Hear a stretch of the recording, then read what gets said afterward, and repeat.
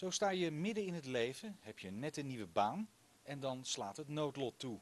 Met Pinksteren tijdens een fietstocht. Ik eh, remde af en eh, zette mijn been bij op een verkeerde manier waarbij alles afbrak. In mijn onderbeen en mijn knie.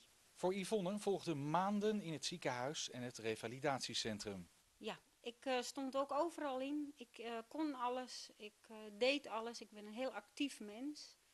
En in één is alles over. Nu is de scootmobiel bepalend voor haar leven. Ik voel me niet heel erg trots op zo'n ding, maar ik kan wel in ieder geval de deur uit. En nu is die gestolen. Nou, ik vind het vreselijk frustrerend dat ze dat gedaan hebben, omdat het eigenlijk mijn benen zijn. Ik heb zo helemaal niks. Ik, ik zit binnen en daar word je ontzettend depressief van.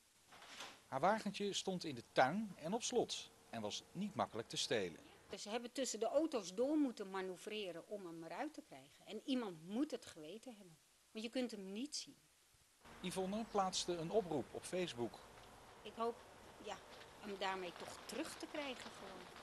Want hoewel de scootmobiel is gehuurd, kan het nog weken duren voor ze een nieuwe heeft. En die is broodnodig. Ik hoop dat ik weer ga lopen. Eh, de prognose is tussen de 1 en de 3 jaar. Het gaat om een blauwe scootmobiel van het type Sterling X3 met het kenteken AAE 411.